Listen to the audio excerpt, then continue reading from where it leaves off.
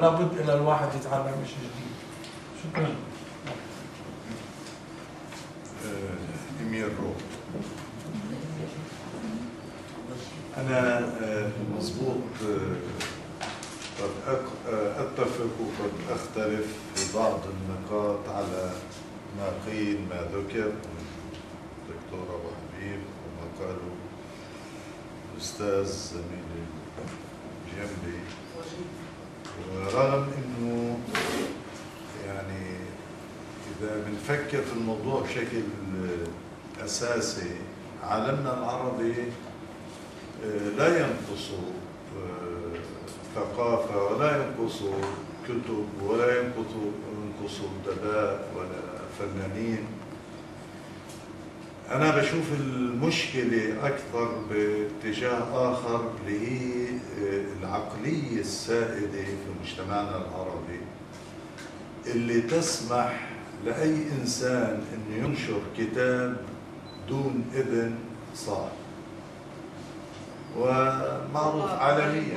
بكل الوظائف تبعتهم من الإنترنت على هوين حتى ما بيقروهاش ثواني بنقلوها. وبعدين كل النهار قاعدين على الإنترنت لا بيراقبوهن الأهل ولا بيشوفوهن إيش البرامج اللي بنزلوها وعلى أنو اطارم عمالين بيحضروا. عشان هيك فسدت حتى أخلاق الأولاد. يعني أنا أحفادي كنت أروح عند بناتي يقعدوا كل الوقت حد اليوم بشوفنش كل الوقت وهن قاعدين على الإنترنت. والأهل مش عمالين بيراقبوا. حتى في أهل اللي بحطوا اطارم اللي هي ممنوع الأولاد يسمعوها بيبقوا قاعدين هن واولادهم يضحكوا مكيفين على نكت سخيفة اللي ممنوع الأولاد يسمعوها. كيف الأولاد بدها تقرأ يعني؟ بدل ما الأم والأهل يكون عندهم وعي يحملوهن كتاب غصب عنهم. لازم يحملوهن كتاب يقروه. أفضل من الإنترنت والتلفزيونات. بحكي بهذه الطريقة إنه للأهل. كل واحد يعرف بس اسمي فوز شليان. فوز شليان. أيوة. بس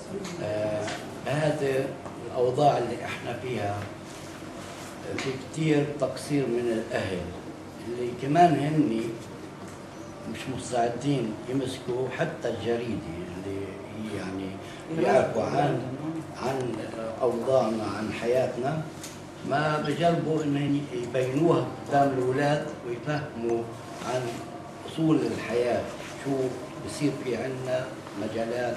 منيحه مجالات مش منيحه يفهموا عنها بالقليل عن الجريده أو إذا بيشوفوا الولد بي- بيروح من المدرسة مش مستعدين يقولوا له امسك كتابك اقرأ. بيهتموش لهذا الأمر بيهتموا إنه الولد حر. وفي عنده إنترنت يحكي ويشوف شو الموجود فيه ولكن ب- بظروف حتى ما بيراقبوا الولد. إيش بيعمل؟ إذا كان هو ب- بيراقب ال- المواضيع المهمة لعلمه أو هو يعني. اليوم من يوم ما أعطوا الأهل حرية التصرف للأولاد وحرية الكلام صاروا هن يتصرفوا على كيفن اعتمدوا على نفسهم ما عادوش يحترموا الكبير بالمرة. صاروا بده يتصرفوا هن على كيفن بيجي الأبو أو الأم بيحكوا ما بردوش. ما بردوش يعني. أنا شايف الأولاد هي اللي بدها تربي أولاد امها وأبوها مش الأهل يربوا الأولاد. ومن يوم ما ارتفعت العصا عن الأولاد الأولاد صاروا يتصرفوا على كيفهم العصا ال- ال- في الكلمة مرات بتيجي أقسم من العصا. الكلمة أقسم من العصا اللي هي بتعطي معنى العصا. الكلمة القاسيه حاب أحكي عن نقطة اللي طرق عليها الأستاذ وجيه بالنسبة لل نشتغل على قضية القراءة بالنسبة للأطفال. عرف ناظم حسون. لازم إيه، بالنسبة للأطفال ودور الإعلام إحنا كمثقفين مثلا والأدباء كيف نشتغل على هذا الموضوع إنه نوصل إيه، الفكرة للمعلمين ولكن إيه، المعلمين نفسهم ما بيقروا اليوم. المعلمين نفسهم ما بيقروا. آه، لازم يكون في حل لهي المشكلة إنه نوصل فكرة اللي حكى عنها الاستاذ وجيه القراءة حب القراءة للأطفال. يتنموا على وهن صغار يقروا وبس هي الحل الوحيد لأنه اليوم تيجي لواحد له اقرا بقول لك آه، حل عني.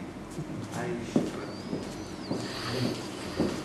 مساء الخير للجميع أنا وهيب وهبة سأتحدث عن الإعلام وبالتحديد وأتمنى أن يكون بمنتهى الاختصار وأمثلة على كل ما سأتحدث عنه.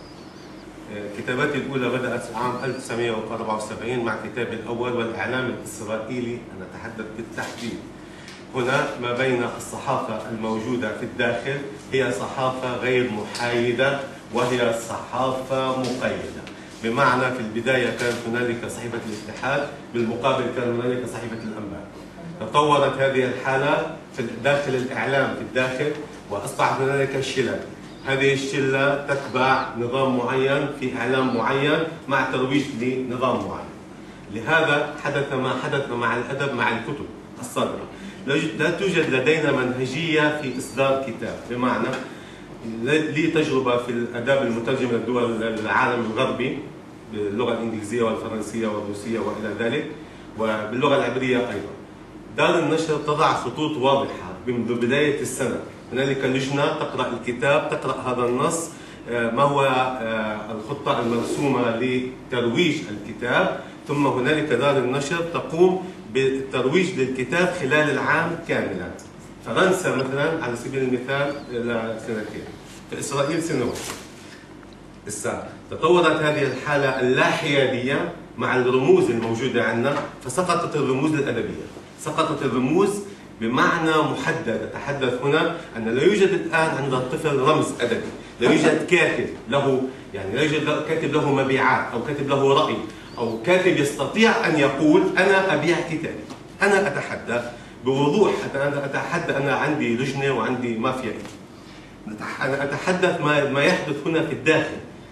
إذا من الصعب جدا الآن الحديث عن الإعلام بعيدا إذا ما دمنا لا نتحدث عن الحيادية.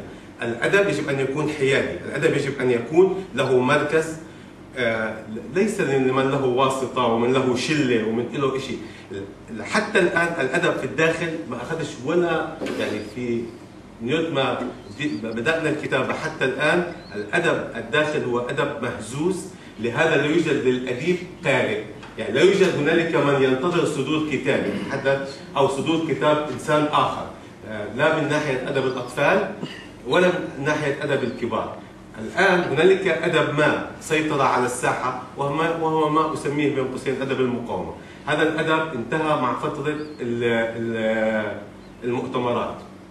أيضا في فترة ما من الزمن وسقوط المعسكر الاشتراكي سقط.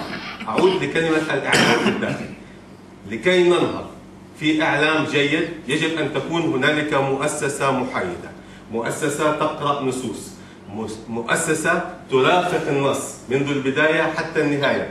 ترافق هذا الكاتب في المدارس في المعاهد في الجامعات. عدم وجود اليوم آه، أي حفلة تكريمية يعني بتصير لأي كتاب بيحضرها 50 60 واحد. يعني أنا عم بتحدث عن أرقام كبيرة 50 60 واحد كمان.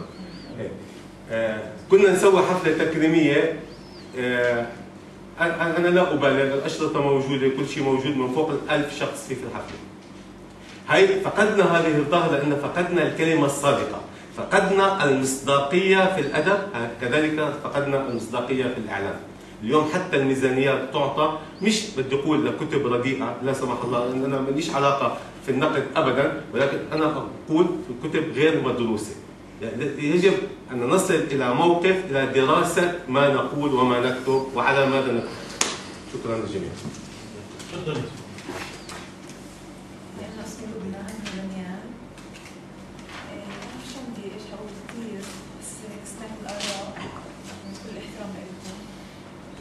توجيه بالنسبة لنشر الادب بحكي يعني كمان الجيل الساعد قديش بحاجه للقراءة اللي هي تنتقص عنا أنا بوافقك الرأي. أنا أصدرت كتاب قبل سنه ونص لا اعرف كيف أبيع كتاب. لا مش مش مش تصوير الفكرة. بس استصعبت كثير لأنه الصراحه فيش قراء والإعلام ما كانش له دور هالقد مهم.